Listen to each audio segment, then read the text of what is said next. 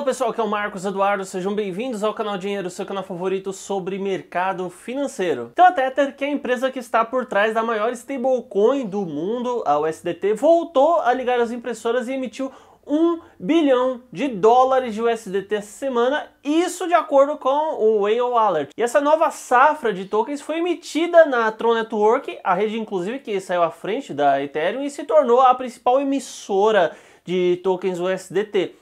Então, com essa nova emissão, a stablecoin bateu um recorde e alcançou uma capitalização de mercado de 62,4 bilhões de dólares. E se ela fosse uma criptomoeda, isso a consolidaria de fato como a terceira maior do mercado, atrás apenas do Bitcoin e do Ethereum.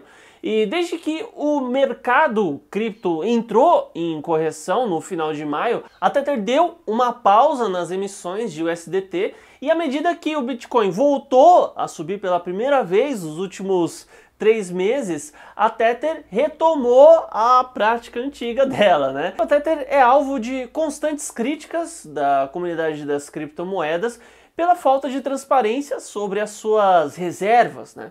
E a empresa costumava afirmar que para cada um SDT emitido no mercado tinha um dólar equivalente em um caixa ou uma conta bancária. E o problema fez a Tether enfrentar, inclusive, um processo judicial muito complicado com os reguladores. E em abril, a Procuradoria-Geral de Nova York condenou a empresa a pagar uma multa de 18,5 milhões por mentir sobre o lastro da stablecoin e falsificar auditorias.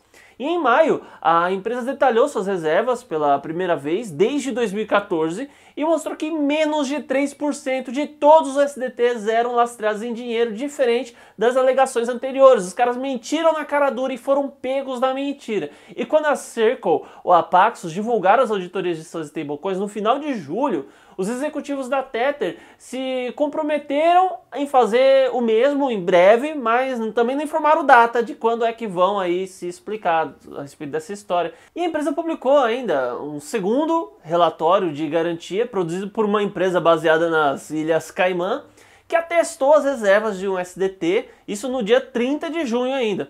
E o documento, no entanto, não representava a auditoria completa eles apenas selecionaram alguns trechos, né? E de acordo com o relatório, a Tether possuía 62,7 bilhões de dólares em caixa naquele dia, e desse total, quase metade era respaldado por papel comercial e certificados de depósito, e apenas 10% da reserva de USDT vinham de dinheiro e depósitos bancários. Depois o pessoal me pergunta: por que, Marcos, você está usando BUSD ao invés de usar Tether, né? Por que será, né? Tá aí a resposta, pessoal. Realmente não consigo confiar na empresa que é dona da Tether. Ah, mas então você confia na Binance? Não, 100%, cara, eu não confio em empresa nenhuma, não ponho minha mão no fogo por ninguém. Digamos que eu desconfie mais da Tether do que da Binance, chamemos assim, deixamos a, vamos deixar a história assim. Então se você gostou desse conteúdo, se inscreva nesse canal, ativa o sino das notificações, deixa um like